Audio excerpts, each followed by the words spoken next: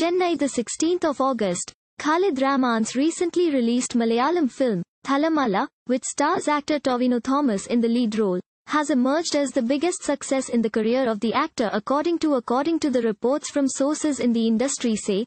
On Tuesday, reports reported that Thallumaala, which debuted to a flurry of praises on the 12th of August, up to August 15th made 31 crores around the world.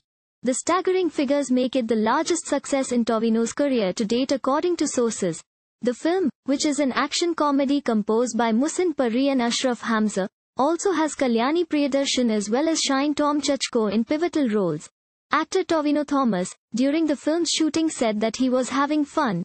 In a post on Instagram to talk about his experiences of playing Wazim his character in the film, Tovino was later quoted as saying, While I truly enjoy playing characters that require a graceful, poised and sometimes violent body language, there's something very liberating about making films that allow you to play your best and have lots of fun. Wazim is all of that and much more.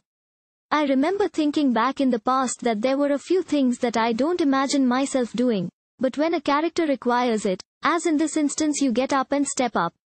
Particularly with a rock-solid team behind you and empowering you to discover and grow as an artist. Money, BG 888 trillion 11 billion 110,888 Chennai, August 16th. Director Khalid Rahman's just released Malayalam film, Thallumaala, featuring actor Tovino Thomas in the lead, has gone on to emerge as the biggest hit in the actor's career. If one is to go by what sources in the industry say. On Tuesday, sources said, Thallumaala, which opened to rave reviews on August 12, had until August 15 grossed approximately 31 crore rupees worldwide.